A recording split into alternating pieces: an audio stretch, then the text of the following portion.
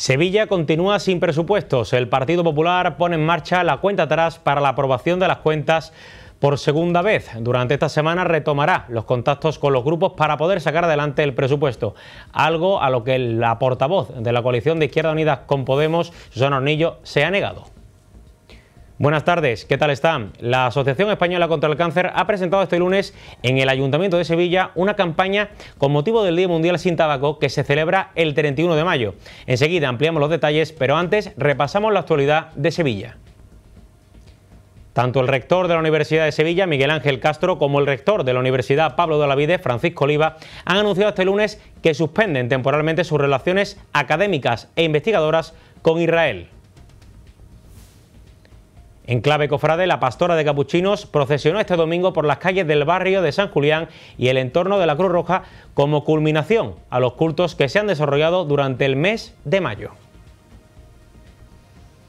Y en deportes se acabó la liga con un Sevilla Fútbol Club Barcelona que dejó varias despedidas en los banquillos y sobre todo en el césped. Además, ya tenemos prelista del seleccionador nacional de fútbol Luis de la Fuente para la próxima Eurocopa.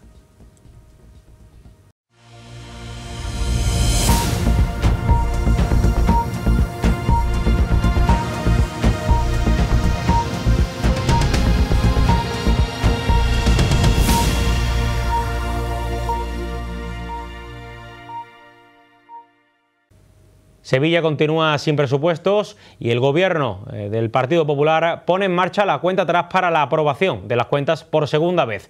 Durante esta semana retomará los contactos con los grupos para poder sacar adelante este presupuesto, algo a lo que la portavoz de la coalición de izquierdas con Podemos, Susana Hornillo, se ha negado.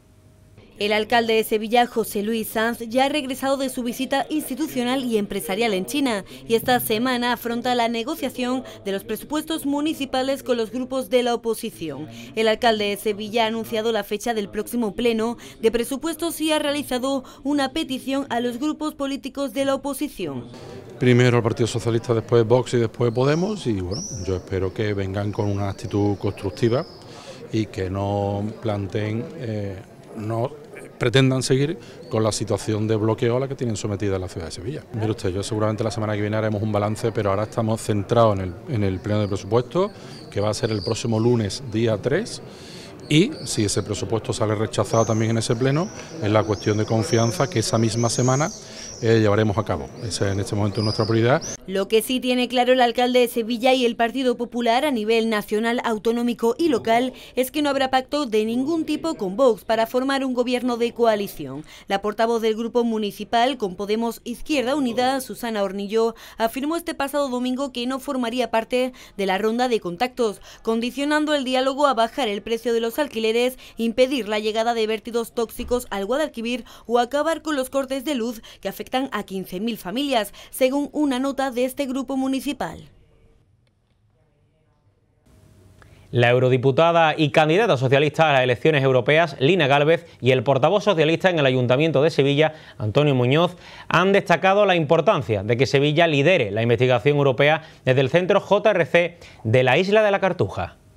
La candidata socialista a las elecciones europeas, Lina Galvez, y el portavoz socialista en el Ayuntamiento de Sevilla, Antonio Muñoz, han asegurado que Sevilla es el epicentro de la investigación gracias a la apuesta decidida de Europa por la capital andaluza. Galvez ha expuesto públicamente una propuesta que su grupo político ha trasladado a la Comisión Europea y sobre todo he promovido, he pedido a la, Comisión desde el Parlamento el desarrollo de una acción piloto de eh, asociaciones de regiones para la innovación que se va a desarrollar aquí desde el JRC en, Sevilla con un presupuesto muy importante y con la creación también de muchos puestos de trabajo. Por tanto, el trabajo que se realiza desde aquí del JRC en, conjunción con las instituciones europeas y el Parlamento Europeo, pues es eh, fundamental.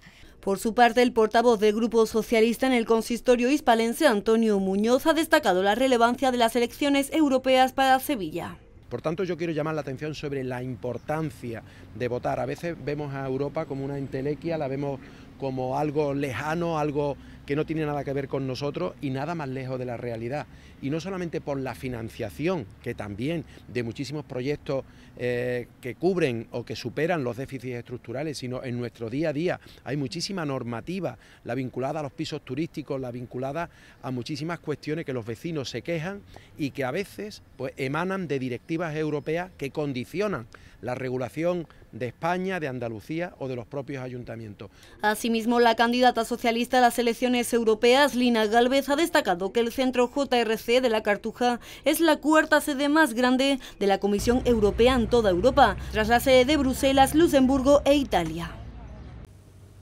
El conflicto Israel-Palestina sigue dando que hablar y es que el rector de la Universidad de Sevilla, Miguel Ángel Castro, ha anunciado este lunes que la institución suspende temporalmente sus relaciones académicas e investigadoras con Israel y la creación de ayudas extraordinarias para los miembros palestinos que actualmente forman parte de la comunidad universitaria de la Universidad de Sevilla.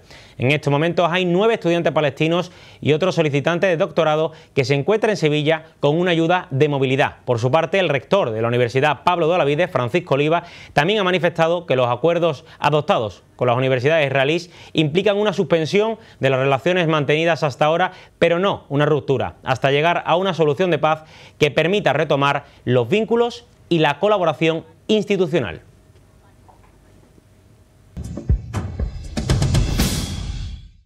La Asociación Española contra el Cáncer ha presentado este lunes en el Ayuntamiento de Sevilla una campaña con motivo del Día Mundial sin Tabaco que se celebra el 31 de mayo. Un día para reflexionar, educar y actuar ante la problemática cada vez más extendida, sobre todo en los jóvenes. La Asociación Española contra el Cáncer ha presentado una campaña en alianza con la Fundación Lo que de verdad importa para dar a conocer el problema del tabaquismo e intentar que en 2030 nazca la primera generación libre de humo. Se trata de Proyecto Cero, impulsada para reivindicar el conocimiento, la prevención, la detección temprana y fundamentalmente la investigación ante la celebración del Día Mundial sin Tabaco el próximo 31 de mayo. Desde la asociación aseguran que en 2030 habrá en España 330.000 diagnósticos nuevos de cáncer. En España se producirán en el 2030, como hemos comentado, 63.000 muertes de cáncer, por el tabaco, perdón, 63.000 muertes por el tabaco, no solamente de fumadores, sino de personas que han sido fumadores pasivos.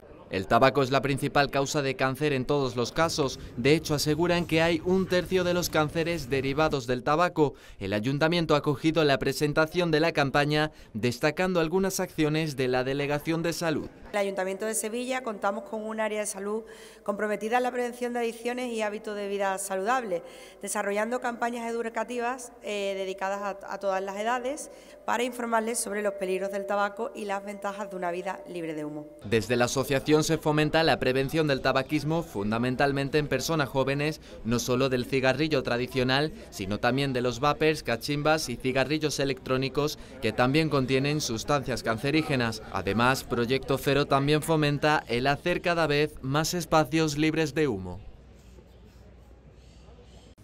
El consejero de Presidencia, Antonio Sanza, ha participado este lunes en la novena edición de las Jornadas Nacionales de Investigación en Ciberseguridad, donde ha puesto de relieve la importancia de la colaboración y cooperación entre instituciones para abordar la ciberseguridad y la transformación digital en Andalucía. La Escuela Técnica Superior de Ingeniería Informática de la Universidad de Sevilla acoge desde este lunes hasta el próximo miércoles las novenas Jornadas Nacionales de Investigación en Ciberseguridad. El Instituto Nacional de Ciberseguridad colabora en la organización y constituye la entidad de referencia nacional para el desarrollo de la ciberseguridad y de la confianza digital de ciudadanos, red académica y de investigación, profesionales, empresas y especialmente para sectores estratégicos. Su misión es apoyar la I Más I para generar conocimiento y tecnología que haga frente a las necesidades y retos que plantean las ciberamenazas y ciberataques. Y lo hacemos en un entorno en el cual Andalucía intenta estar eh, por delante, intenta eh, ser avanzadilla en esta materia. De ahí que Andalucía hayamos aprobado hace ya eh, muchos meses la estrategia andaluza para la ciberseguridad 22-25. Eh, Esta jornada es un congreso científico que promueve el contacto, intercambio y discusión de ideas, conocimientos y experiencias entre la red académica y de investigación por una parte y los profesionales y empresas por otra. En clave cultural, en la mañana de este lunes ha tenido lugar la presentación del primer ciclo de óperas del Alcázar. El estreno de este evento tendrá lugar el próximo 11 de junio en el patio de la Montería y se representará La Traviata de Giuseppe Verdi. El Salón de Embajadores del Alcázar ha acogido la presentación del primer ciclo de óperas del Alcázar. El estreno de este evento se celebrará el próximo 11 de junio, en el que el patio de la Montería acogerá la representación de la Traviata de Giuseppe Verdi. El alcalde de Sevilla, José Luis Sanz, ha señalado que el vínculo entre la ópera y la capital hispalense es ineludible. Pero Sevilla no solo es la capital musical del sur de España porque es la capital del flamenco, porque goza de una cantidad de espacios eh, al aire libre o auditorios eh, únicos en el sur de España para gozar de la música. Sevilla es también la capital de la ópera, como pone de, referencia que hay más de 150 títulos de ópera, de ópera que hacen eh, a Sevilla protagonista o que utilizan a Sevilla como temática. Y ahí está Carmen de Vicel, Barbero de Sevilla, La Boda de Fígaro o Don Giovanni, entre otras muchas cosas. Para este año 2024 se ha previsto cuatro hitos gracias a la colaboración con la Asociación Casas Palacio, el Ateneo de Sevilla y la Fundación Caja Rural del Sur. La primera de las citas tendrá como escenario el patio de la Montería que acogerá el ya tradicional concierto de primavera del Ateneo que tendrá como protagonista la citada ópera de Verdi. Bajo el lema Conectando con las obras de arte más allá de los muros del museo, el Museo de Bellas Artes de Sevilla ha acogido la entrega de diplomas a los centros de participación activa de mayores en el marco del reto en base. Cinco centros ubicados en diferentes barrios de Sevilla llevan un curso preparando carrozas artísticas para mostrar a la sociedad y la cultura. Alma Palomino. El consejero de Turismo, Cultura y Deporte, Arturo Bernal, ha entregado los diplomas del reto del Museo de Bellas Artes de Sevilla al proyecto educativo Centro de Participación Activa de Mayores de Sevilla. Los cinco centros de participación activa ubicados en Sevilla, Triana, Macarena, Cerro del Águila, Ciudad Jardín y Heliópolis, visitaron la obra del artista Domingo Martínez llamada La Cabalgata, compuesta por ocho lienzos. Y tras esto, cada centro tenía que decorar una carroza con un color asignado, naranja, verde, rojo, morado o azul. Este reto es una de las aventuras diseñadas para ofrecer una experiencia significativa con el arte, explorando más allá de los muros físicos de los museos. En él se propone a los participantes superar una serie de desafíos relacionados con piezas concretas que les permiten explorar en profundidad distintas obras de arte y realizar proyectos creativos basados en sus propias observaciones y reacciones. Fue importante porque permitió a las familias conectar de manera más personal con el arte y acercarse a él sin ningún prejuicio. Esto es una muestra más de que los museos son instituciones realmente vivas, porque su misión última es ser punto de encuentro y referencia para una sociedad necesitada de valores que la cultura puede aportar y de hecho aporta de forma clara, como un elemento imprescindible para desarrollar el pensamiento crítico, para conocerse, para socializarse, El Ilustre Colegio Oficial de Enfermería de Sevilla ha inaugurado este lunes una exposición en la que muestra sus 160 años de historia. Este acto ha contado con la presencia de la delegada de salud del Ayuntamiento de Sevilla, Silvia Pozo. La Puerta de Jerez acoge hasta el próximo 23 de junio una muestra sobre los 160 años de historia del ilustre Colegio Oficial de Enfermería de Sevilla, gracias a la colaboración del Ayuntamiento y de Masesa por la cesión de expositores en este céntrico enclave. El presidente del ilustre Colegio Oficial de Enfermería de Sevilla, Víctor Borges, ha valorado esta iniciativa. Hemos llegado a conformar estos 10 MUPIs que dan una visibilidad en lo que es nuestra propia conformación del colegio, nuestras distintas sedes, nuestro avance en la profesión y cómo actualmente está configurada como tal. Para nosotros es dar la visibilidad a las enfermeras y posibilitar a todos los sevillanos, sevillanas y a todos los que estén transeúntes por aquí por la ciudad que contemplen cómo es hoy día nuestra profesión. Asimismo, la delegada de salud en el consistorio inspalense, Silvia Pozo, ha destacado por qué este tipo de iniciativas son importantes. Hoy es un día también para reivindicar el, liderazgo enfermero. Las enfermeras tienen actitudes, capacidades, formación, eh, universitaria para, para, hacer cualquier cosa que se propongan. Esta exposición forma parte del Certamen Nacional de Enfermería de Sevilla que tiene lugar el 4 de junio en el Explolaterra. En clave gastronómica, el Festival de Caracoles y Cabrillas Caracolia regresa por segundo año consecutivo a Sevilla, una cita que en esta ocasión coincidirá con la festividad del Corpus Christi. Este evento está organizado por la Academia Sevillana de Gastronomía y Turismo y se ubicará en Paseo Colón, al igual que la edición anterior. El Paseo de Colón alberga la segunda edición del Festival Gastronómico de Caracoles y Cabrillas Caracolia. Esta cita se celebra del 30 de mayo al 1 de junio, coincidiendo con la festividad del Corpus, desde las 8 de la tarde y hasta medianoche. El presidente de la Academia Sevillana de Gastronomía y Turismo, Julio Moreno, ha destacado el papel de esta tapa estrella en la ciudad. Sevilla es la cuna de la tapa sin lugar a duda y Sevilla es la que quiere mantener esa tradición tan ligada ese estilo de vida nuestro, a ese, nosotros siempre decimos, a ese modelo de convivencia y de convivencia. Y ni qué duda cabe que en estos tiempos lo más importante, si hablamos de etapas, pues son los caracoles y las cabrillas. El pasado año el festival tuvo 3.000 visitantes y fue considerada un éxito por sus organizadores. El presidente de la Asociación de Hostelería de Sevilla, Alfonso Maceda, ha señalado una gran virtud de este festival. Que además es muy difícil ir a 14, en este caso 12 establecimientos eh, a la vez. Bueno, pues puedes probar el, que quieras o el que, o el que nunca habías ido porque te queda en el otro lado de la ciudad o en el pueblo, como, como bien ha dicho eh, Julio. ¿no? Los asistentes, además de poder saborear esta popular tapa, podrán disfrutar de una programación integrada por música, show cooking y concursos, pudiendo votar qué caracoles y cabrillas de los participantes merecen ganar el primer puesto.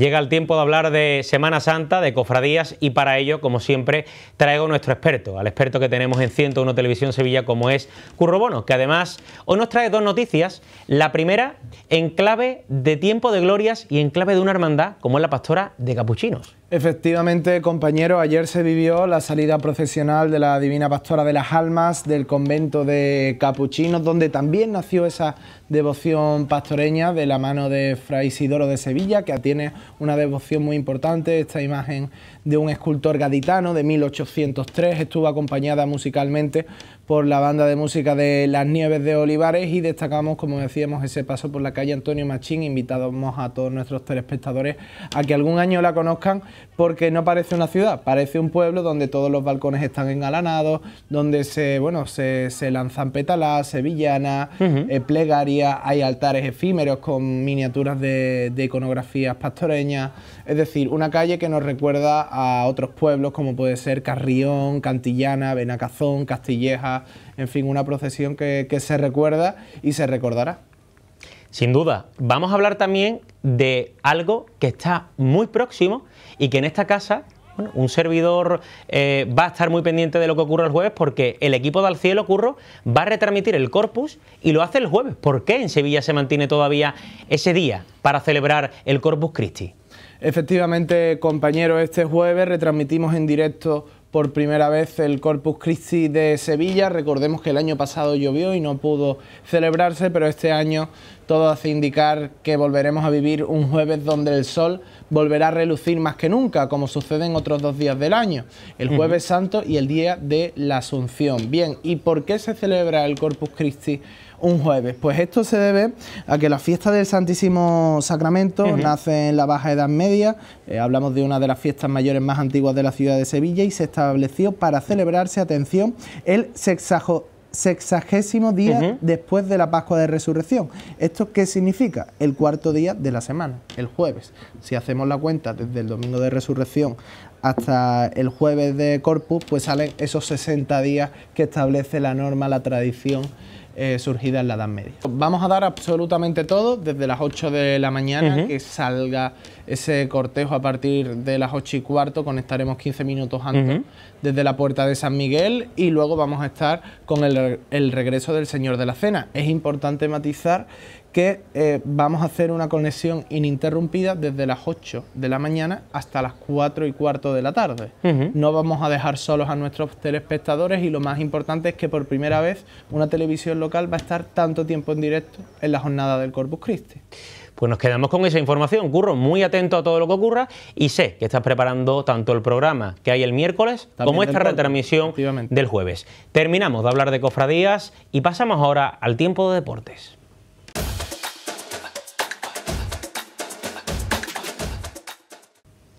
Para hablar de deportes, como siempre, lo hacemos de la mano de nuestro compañero Fran Campos, que además tiene que contarnos que ha terminado la Liga, la Liga Española. Muy buenas tardes, Fran. ¿Qué tal, Alberto? Buenas tardes. Se nos acabó la Liga, pero ya mismo está aquí muy pronto la Eurocopa y ahí, ojalá, tengamos protagonismo de los equipos sevillanos. Desde luego ya en la prelista, si lo tenemos, Jesús Navas por parte del Sevilla Fútbol Club y Ayoce Pérez, una de las principales novedades por parte del Real Betis Balompié, conforman, son parte de esa lista de 29 convocados de Luis de la Fuente para preparar la próxima Eurocopa. Se caerán tres futbolistas de esa lista, esperemos que no sean ni el jugador del Real Betis Balompié ni el jugador Sevi de ellos dos ha hablado Luis de la Fuente. Ojo a los elogios tanto a Jesús Navas como a Yoce Pérez. Con respecto a Yoce, es un futbolista que creo que ha estado también en muchas playistas con nosotros por circunstancias. Pues no ha estado hasta ahora, pero creemos que es el momento de darle esta oportunidad. Y estamos también muy contentos, seguro que va a encajar muy bien, porque además de que es muy buen futbolista, independiente de la edad, no miramos si tienen 16 años o 39, como ya tiene alguno de nuestros jugadores. creo que es su momento y sabemos que lo va a aprovechar. ¿Qué le puede aportar al equipo? Pues todo lo que aporta Jesús. Es otro de los capitanes, es un ejemplo, parte de la historia del fútbol español, campeón de Europa, campeón del mundo, la Nation, y un ejemplo día a día que, transmite a todos, a todos nosotros. Entonces puede aportar mucho, además de todo el talento futbolístico que tiene. Eh, creo que ha pasado durante la temporada, como el resto de compañeros, difíciles momentos y él siempre ha estado a la altura. Siempre está a la altura. Jesús nunca falla. Y luego es otro de los futbolistas, que también es otro detalle que sí quiero aprovechar para deciros, que hay futbolistas que parece que nacen para competir, eh, obviamente en sus clubes, pero competir de manera especial en la selección. Y Jesús es uno de ellos. Es uno que cada jugador que cuando pues, se pone la camiseta de la selección se transforma. Y parece un futbolista que está nacido y para ser jugador internacional. Y lo celebramos y Jesús no falla nunca tampoco. Estamos encantadísimos de que esté en el momento que se encuentra y con la ilusión que tiene después de haber ganado todo lo que ha ganado. Sigue pensando en que todavía puede mejorar. Y no ha tardado en reaccionar un futbolista, el canario del Real Betis Balompié, que tenía muchas ganas de llegar por fin a la selección. Hola Bético, hoy es un día muy feliz para mí y con este vídeo quería agradecer a mis compañeros, por supuesto, y a toda la afición de, del Betis por el apoyo y, y obviamente esto también es por ustedes. Un abrazote. Pronto nos centraremos en la Eurocopa, pero hay que poner en el broche, el punto final a la Liga. Una Liga que tuvo su último partido en Nervión con la derrota del Sevilla frente al Fútbol Club Barcelona y con la despedida del banquillo de Nervión de Quique Sánchez Flores. Punto y final a la temporada para el Sevilla Fútbol Club con una derrota ante el Fútbol Club Barcelona en el Ramón Sánchez Piguán en el partido que significaba el adiós en los banquillos de Quique Sánchez Flores en el Sevilla y de Xavi Hernández en el conjunto blaugrana. El partido comenzaría igualado, pero en el minuto 15 Robert Lewandowski adelantaba a los blaugranas con un remate en el que poco pudo hacer Milan. Los de casa merecieron algo más en los primeros 45 minutos con ocasiones que se iban al limbo y que no terminaron entrando en la red de Marc-André Ter Stegen. Pero 15 minutos después del primer tanto del partido, Youssef Nesiri igualó la contienda con un zurdazo cruzado a la izquierda de la portería barcelonista gracias a un gran pase filtrado de Sumaré. Los de Quique lo siguieron intentando y pudieron marcharse a vestuarios con un gol más en su haber. Ya en la segunda mitad llegaría el tanto definitivo del Barcelona. Fermín avanzaría con el balón y cruzaría un perfecto lanzamiento a la derecha del noruego sevillista que no pudo impedir lo que significó el gol de la victoria blaugrana. Sevilla Fútbol Club y Fútbol Club Barcelona siguieron intentándolo, pero no se movió más el marcador. Final de una temporada ciega para el olvido para los de Nervión que ahora tienen mucho camino por construir para cambiar la mala dinámica en la que se encuentran sumergidos. Em, me queda sensación de alivio. Han sido cinco meses en los que ha habido momentos muy críticos, muy angustiosos. Ya os lo he contado alguna vez. Eh, ha habido momentos de remontada, oasis dentro del desierto. Hemos encontrado un par de oasis que son los que nos han dado la vida y hemos sido el equipo que queríamos ser. Y nos da un poco de pena que en estos partidos últimos, quizá también teniendo en cuenta un poco la pérdida de jugadores muy importantes, que ha sido eh, vértice de, de, la remontada, eh, no hubiéramos contado con eso en el tramo final. Me voy muy emocionado por el hecho de, de, que lo que nosotros hacemos a veces parece que lo hacemos solo en beneficio de, de los entrenadores. Nosotros eh, lo que más nos puede llegar, a mí particularmente lo que más me puede llegar es que para quien trabajo, eh, que son fundamentalmente los aficionados, de los clubes, que son para mí la máxima autoridad, eh, pues que se reconozcan con su entrenador por valores que seguramente tenemos en común, porque si no, no es solo posible hacerlo a través de un equipo o a través de un... Creo que ellos han visto honestidad, creo que, que nos hemos ayudado mucho mutuamente, la afición y, y, nosotros. Creo que han sido comprensivos en muchos momentos. Si ha habido crítica que la ha habido y dura, creo que era merecida también y hay que encajar ese tipo de, de momentos también, nos hacen crecer. Eh, siempre he dicho lo mismo, esos momentos nos hacen muchas preguntas, nos cuestionan, te vas a, a, la habitación del hotel, te haces un montón de preguntas, al día siguiente tienes que, tener las, las tienes que llevar respondidas al entrenamiento y, y al final pues ese piel con piel se ha producido se ha producido. Y también se produjo en otro equipo importante como el Atlético de Madrid, y de que estoy muy satisfecho también ese paso donde me lo recuerdan constantemente. Pues lo más importante, si hemos cumplido la obligación de, de quitarle la ansiedad a los aficionados con respecto a una determinada situación y si además ellos han entendido que el trabajo es honesto, perfecto. Y fuera del estadio, la afición que se volcó con Quique Sánchez Flores, no así con la actual directiva del Sevilla. Protestas de bastantes aficionados en los aledaños del Pizjuán.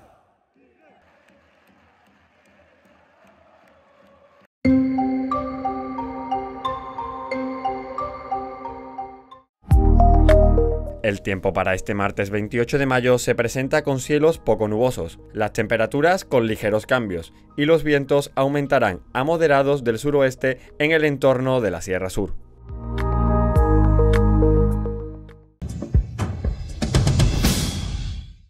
En España, cada 27 de mayo se celebra el Día de la Celiaquía con el objetivo de visibilizar a las personas que padecen esta enfermedad y normalizar su situación. Gracias por acompañarnos y hasta mañana.